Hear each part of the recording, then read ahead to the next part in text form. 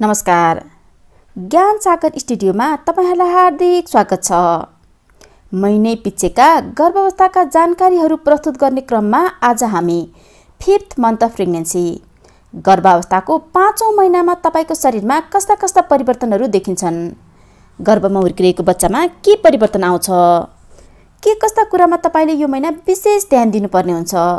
साथै यो महिना गर्नुपर्ने टेस्ट तथा खानुपर्ने मेडिसिनका बारेमा डिटेल इन्फर्मेसनका साथमा उपस्थित छौँ। यदि तपाईँको प्रेग्नेन्सी पिरियडको पाँचौँ महिना चल्दैछ वा अब छिट्टै नै पाँचौँ महिनामा प्रवेश गर्नेवाला हुनुहुन्छ भने यो भिडियो तपाईँका लागि एकदमै महत्त्वपूर्ण हुनेछ। त्यसैले भिडियो कतै स्किप नगरिकन पुरा हेर्नुहोस्। कुनै जिज्ञासा छ भने कमेन्ट बक्समा कमेन्ट लेखी पोस्ट गर्नुहोस्। हामी जति सक्दो छिटो तपाईँको प्रश्नको उत्तर दिने प्रयास गर्नेछौँ। भिडियो मन पर्यो भने भिडियोलाई लाइक सेयर गर्न पनि नबिर्सनुहोस्। साथै यदि तपाईँ हाम्रो च्यानलमा नयाँ हुनुहुन्छ भने यस्तै प्रेग्नेन्सीसँग रिलेटेड सम्पूर्ण जानकारी प्राप्त गर्नका लागि हाम्रो च्यानल ज्ञान सागर स्टुडियोलाई सब्सक्राइब गरी नजिकै रहेको बेल आइकन प्रेस गर्न पनि नछुटाउनुहोस्। ताकि हामीले कुनै पनि नयाँ भिडियो अपलोड गर्न साथ सबैभन्दा पहिला तपाईँ सामु पुगोस्। अब जानौँ। गर्भावस्थाको पाँचौँ महिनामा तपाईँको शरीरमा कस्ता कस्ता परिवर्तनहरू देखिन्छन् त? यो महिनामा पनि बच्चादानको साइज बढ्छ र लगभग नाइटोसम्म आउँछ। बाहिरैबाट तपाईँलाई तपाईँ प्रेग्नेन्ट हो भन्ने सजिलै अनुमान गर्न सकिन्छ। बच्चा पनि बढ्ने क्रममा रहेकोले धेरैजसो गर्भवती महिलाहरूले यो महिनादेखि बच्चा राम्रोसँग चलेको महसुस गर्छन्। हुन त कसै कसैले चार महिनादेखि नै बच्चा चलेको थाहा पाएँ भन्नुहुन्छ। यदि तपाईँको पहिलो प्रेग्नेन्सी हो भने बच्चा अलिक ढिला चलेको थाहा हुनसक्छ नर्मल्ली बिसदेखि बाइस हप्तासम्म लाग्न सक्छ। त दोस्रो वा तेस्रो प्रेग्नेन्सी हो भने बच्चा अलिक छिटो चलेको थाहा हुनसक्छ अर्थात् सोह्रदेखि अठार हप्तामा नै बच्चा चलेको थाहा हुनसक्छ यो भनेको तपाईँको शरीर अनुसार बच्चाको पोजिसन अनुसार। अहिले बढेको तपाईँको वेट अनुसार बच्चाको वेट अनुसार। एमनेटिक फ्लुइडको लेभल अनुसार ढिलो चाँडो हुनसक्छ नर्मल्ली सोह्र हप्तादेखि बाइस हप्तासम्ममा बेबी किक थाहा हुन्छ। यदि पाँच महिनामा बच्चा चलेको थाहा भएन भने पनि नडराउनुहोस्। छैटौँ महिनामा अवश्य थाहा हुन्छ। यो महिनामा पनि तपाईँलाई एसिडिटीको समस्या कब्जियतको समस्या अघिल्लो अघिल्लो महिनामा थियो भने यो महिनामा पनि चालु नै रहन्छ। त्यस्तै यो महिनामा शरीरका विभिन्न भागमा ब्रेस्टमा निला निला धर्का देखिन सक्छन्। ब्रेस्टको साइज बढ्छ। र अलि ह्याप्पी भएको फिल हुनसक्छ। निपल पनि अलिक कालो हुनसक्छ। कसै कसैलाई त दाँतमा त पनि गिजाबाट रगत आउन सक्छ। कहिलेकाहीँ नाकबाट पनि थोरै थोरै रगत आउन सक्छ। यो समयमा यो सिम्टमहरू नर्मल नै हुन् त्यसैले नडराउनुहोस्। यो महिना तपाईँलाई हल्का ढाड कमर दुख्न सक्छ तल्लो पेट दुख्ने चिलाउने हुनसक्छ। साथै तपाईँको स्किनमा पनि परिवर्तन हुनसक्छ। कसै कसैमा स्किन पहिलाको भन्दा पनि राम्रो। वा प्रेग्नेन्सी ग्लो आउन सक्छ त कसै कसैमा भने धेरै बिग्रिन सक्छ। चायापोतो थपिन सक्छन् छाला सुक्खा हुन सक्छ।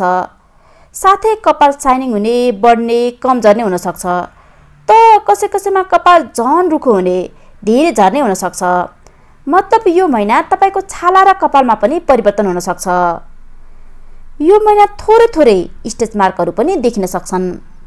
हातखुट्टा दुख्ने सुनिने हुनसक्छ। यसका लागि तपाईँले तरल पदार्थको मात्रा बढाउनु भयो भने युरिन क्लियर हुन्छ। जस्तो कि नरिवल पानी फ्रेस फ्रुट जुस पानी बढी खानुहोस्। र पनि हातखुट्टा दुख्ने सुनिने हुन छोडिरहेको छैन भने एकपटक डक्टरसँग सल्लाह गर्न पनि ढिला नगर्नुहोस्।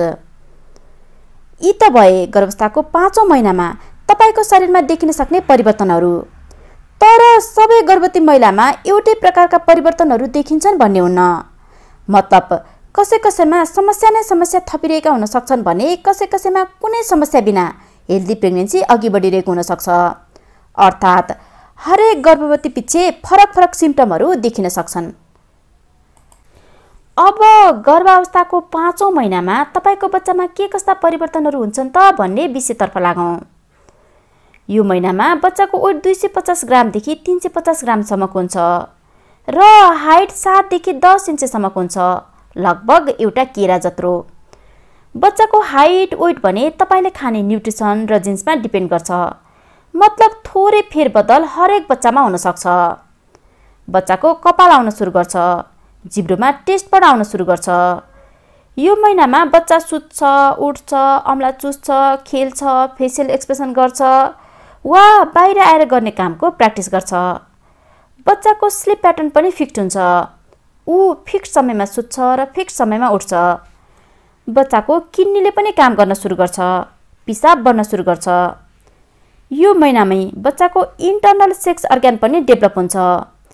यदि तपाईँको घरमा एउटा छोरा हुर्किरहेको छ भने उसको टेस्टिकल बन्न सुरु हुन्छ। त यदि घरमा एउटी छोरी हुर्किरहेकी छिन् भने उनको ओभरी युटेरसको डेभलपमेन्ट हुन स्टार्ट हुन्छ। ओभरीभित्र अन्डा पनि बन्न सुरु हुन्छ। त्यस्तै बच्चाको मानसिक विकास पनि यही महिनादेखि सुरु हुन्छ। ब्रेन डेभलपमेन्ट हुन सुरु हुन्छ। बाहिरको ठुलो आवाज बच्चाले रेस्पोन्स गर्छ। मतलब तपाईँ लाउड म्युजिकमा जानुभयो भने बच्चाको हलचल बढ्छ। बच्चाको छालामा एउटा सेतो कलरको लेयर बन्न सुरु गर्छ जसले बच्चाको छालालाई प्रोटेक्ट गर्छ। र यो महिनामा पनि बच्चाको आँखा भने बन्द नै रहन्छ। कसै कसै गर्भवती महिलाहरूमा बच्चा किन चलेन? पाँच महिनामा त चल्नै पर्ने। सँगै गर्भवती भएको साथीको बच्चा त चल्न थालिसक्यो। मेरो प्रेग्नेन्सीमा कुनै समस्या त भएको छैन भन्ने चिन्ता लाग्न पनि सक्छ। यदि यो महिनामा बच्चा चलेको थाहा पाउनु भएको छैन भने पनि नातिनुहोस् छैटौँ महिनाको सुरुवातीतिर बच्चा चल्न सक्छ। र बच्चा सुरुमा चल्दा तपाईँले आफ्नो पेटमा कुनै सानो कुराले झट्का दिएको जस्तो बुलुक बुलुक गरेको जस्तो उम्लिएको जस्तो महसुस हुन्छ र यो थोरै थोरै र बिस्तारै बिस्तारै हुन्छ। जब प्रेग्नेन्सी अघि बढ्दै जान्छ तब यो किक पनि बढ्दै जान्छ र स्ट्रङ हुँदै जान्छ। अब यो महिना तपाईँ के कस्ता कुरामा विशेष सावधान रहन वा आफ्नो केयर गर्न आवश्यक हुन्छ भन्ने विषयतर्फ लागौँ।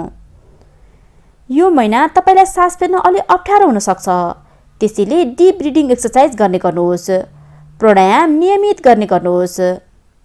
यदि खुट्टा धेरै दुख्छ भने कुनै पनि काम गर्दा एकहोरो धेरै समयसम्म उभि नरहनुहोस् र रेस्ट गर्दा वा राति सुत्दा खुट्टाभन्दा मुनि तकिया राख्ने गर्नुहोस्। ब्लड प्रेसर पनि नियमित चेकअप गर्ने गर्नुहोस्। सकेसम्म खानामा नुनको मात्रा भने कम गर्ने गर्नुभयो भने बेस्ट हुन्छ। आइरन क्याल्सियम ट्याब्लेट रेगुलर खाने गर्नुहोस्। यदि खाना बिर्सिन्छ कि जस्तो लाग्छ भने घरका अन्य सदस्य वा श्रीमानलाई सम्झाउन लगाउनुहोस् या त आफ्नो मोबाइलमा अलार्म नै सेट गर्नुहोस्। डक्टरले protein powder vitamin B twelve suggest गर्नुभएको छ भने त्यो पनि नियमित खाने गर्नुहोस्। साथै हेल्दी डाइट दुई तिन घन्टाको अन्तरमा थोरै थोरै गर्दै खाने गर्नुहोस्। पानी पनि तिनदेखि चार लिटर र प्रशस्त झोलिलो कुरा सेवन गर्ने गर्नुहोस्। यो महिनादेखि बिहान बेलुका आधा आधा घन्टा हिँड्न पनि नछुटाउनुहोस्। नुहाइसकेपछि र राति सुत्नुभन्दा अगाडि आफ्नो पेट वा शरीरमा तेल लगाएर मालिस गर्ने बानी गर्नुहोस्। अब यो महिना गर्नुपर्ने टेस्टहरूतर्फ लागौँ। यो महिना तपाईँले एउटा महत्त्वपूर्ण सोनोग्राफी जसलाई एनिमल स्क्यान वा लेबल टु अल्ट्रासाउन्ड भनिन्छ हो यो गर्नुपर्ने हुन्छ। यो अल्ट्रासाउन्ड उन्नाइस हप्तादेखि बाइस हप्तासम्ममा गर्नुपर्छ। जुन स्क्यानबाट तपाईँले आफ्नो बच्चाको सबै अर्ग्यान कस्तो अवस्थामा छ भन्ने पत्ता लाग्छ। जस्तो कि ब्रेन कस्तो छ किडनी कस्तो छ स्टोमक कस्तो छ हात खुट्टा कस्तो छ फेसियल स्ट्रक्चर कस्तो छ आदि। र यो सोनोग्राफीबाट प्रिमेचर डेलिभरी हुने चान्सेस छ कि छैन भन्ने पनि पत्ता लाग्छ।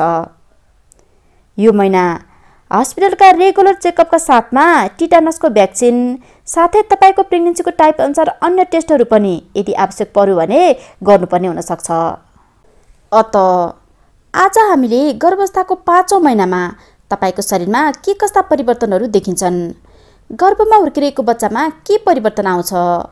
के कस्ता कुरामा तपाईँले यो महिना विशेष ध्यान दिनुपर्ने हुन्छ?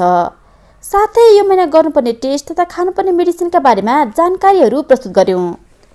तपाईँलाई हाम्रो यो प्रस्तुति कस्तो लाग्यो? कृपया सल्लाह सुझाव र प्रतिक्रिया दिन नबिर्सनुहोला। र अहिलेसम्म पनि हाम्रो च्यानललाई सब्सक्राइब गर्नुभएको छैन भने सब्सक्राइब गर्न पनि नछुटाउनुहोला। भिडियो पुरा हेर्नुभएकोमा तपाईँलाई धेरै धेरै धन्यवाद।